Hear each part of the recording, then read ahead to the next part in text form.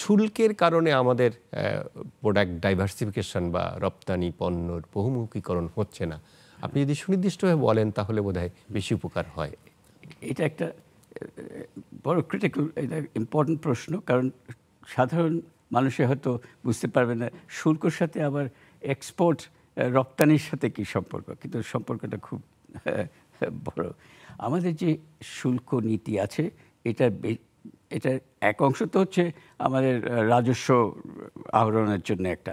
কিন্তু আরেকটা বড় অংশ হচ্ছে যেটা শিল্প সংরক্ষণ একটা নীতির একটা কম্পোনেন্ট এটা। চেষ্টা করা হচ্ছে যে আমাদের দেশীয় যেসব শিল্প আছে তাদের যাতে করে উন্নতি হতে পারে। তার জন্য শুল্ক দিয়ে আমরা আমদানিকে একটু রেস্ট্রিক্ট করে রাখি বা আমদানির দামটা বাড়িয়ে রাখা হয়। এখন এই যে আমদানির দামটা বাড়িয়ে রাখা শুল্কর মাধ্যমে, তার ফলে হচ্ছে কি দেশের জিনিসপত্র, এগুলো শুধু আমদানি পণ্যর দাম বাড়ছে না, দেশীয় যে প্রতিযোগী পণ্য আছে ইম্পোর্ট সাবস্টিটিউট যে প্রোডাক্টগুলো আছে, সেগুলিও বাড়ছে। এত আন্তর্জাতিক দামের চেয়ে এত বেশি বাড়ছে তার ফলে হচ্ছে কি দেশীয় বাজারে বিক্রি করলে যেসব প্রতিযোগী শিল্প আছে, দেশের বাজারে যখন ওনারা বিক্রি করেন, তখন মুনাফার হারটা অনেক বেশি থাকে।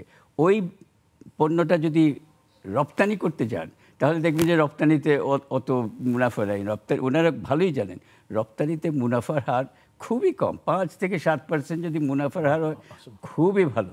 দেশীয় বাজারে বিক্রি করে কিন্তু মুনাফার হার অনেক বেশি। এই একটা বিষয় যে আপনি যদি এখানে দেশীয় বাজারে বিক্রি করেন তাহলে মুনাফার বেশি পাবেন এক্সপোর্ট করতে গেলে মুনাফা অত পাবেন না। তাহলে তো এক্সপোর্টে এনকারেজ হবেন না। আপনার সেইটাই, সেটাকে আমরা বলি অ্যান্টি এক্সপোর্ট বায়াস মানে আপনার এক্সপোর্ট করতে আপনার একটা, আপনার বায়াসটা হচ্ছে দেশীয় বাজারের দিকে। নন গার্মেন্টের যে কতগুলো আইটেম আছে, যে বাংলাদেশের যে শ্রমঘন যেসব শিল্প আছে, সেখানে বাংলাদেশের তো একটা ন্যাচুরাল কম্পিটিটিভ অ্যাডভান্টেজ আছে। এই যে জুতা তৈরি করা তারপরে এই যে খেলনা তৈরি করা মানে টয়, পৃথিবীর বাজারে কিন্তু বিরাট মানে বাজার টয় এবং এই খেলনার কিন্তু হচ্ছে শ্রমঘন একটা শিল্প এবং জুতা মানে ফুটওয়্যার ফুটওয়্যার, লেদার প্রোডাক্টস এগুলি কিন্তু শ্রমঘন শিল্প। এখানে আমার আমার তো মনে হয় যে ফুটওয়্যার আমাদের আর আরএমজি নাম্বার টু হওয়া উচিত ছিল, দুই নম্বর আরএমজি কারণ ফুটওয়্যারের যে আন্তর্জাতিক বাজার স্ট্রাকচার অফ দি ইন্ডাস্ট্রি একই আরএমজির মতো। কারণ ওদের নাইকে আডিডাস রিবক এদের তো কোনো ফ্যাক্টরি নাই। এরা China Vietnam Bangladesh Cambodia India এখানে গিয়ে তারা অর্ডার দেয় যে গার্মেন্টের মতো। সো আমরা কেন ফুটওয়্যারে পাচ্ছি না? তার একটা বড় কারণ হচ্ছে যে, এই যে শুল্ক এত বেশি, তাতে বাজার আমাদের বাড়ছে।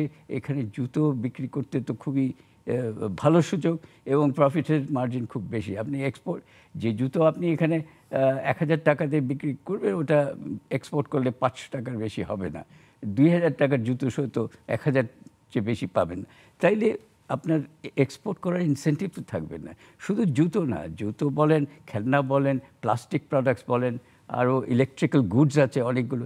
এগুলি সবগুলোতে আমাদের যেসব আমদানি প্রতিযোগী যেসব শিল্প আছে, সেগুলো সবগুলো ক্ষেত্রে আমরা বেশ উচ্চ শুল্ক শুল্ক দিয়ে আমরা আমদানি রিস্ট্রিক্ট করে রেখেছি এবং দেশীয় বাজারে তার যে মুনাফার হার বাড়িয়ে রেখেছি। এখন এরকম হলে হবে কি ওরা রপ্তানি করতে চাইবে না।